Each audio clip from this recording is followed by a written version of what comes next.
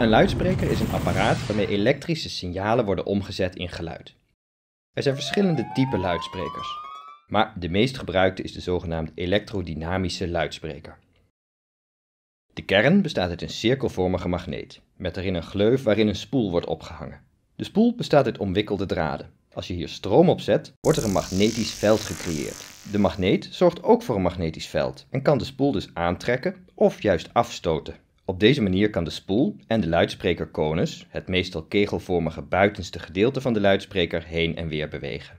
Door dus afwisselend stroom op de spoel te zetten, kan de konus heel veel keer per seconde op en neer gaan. Hierdoor wordt er om en om een andere druk uitgeoefend op de lucht voor de luidsprekerkonus. Deze drukverschillen zorgen voor golven die het menselijk oor kan vertalen in geluid. Deze golven worden uitgedrukt in hertz, net zoals je gewicht bijvoorbeeld uitdrukt in kilo. En hoe hoger de hertz, of hoe sneller de golven, hoe hoger de toon. 1000 hertz geeft dus een hele hoge toon en 100 hertz geeft een hele lage toon.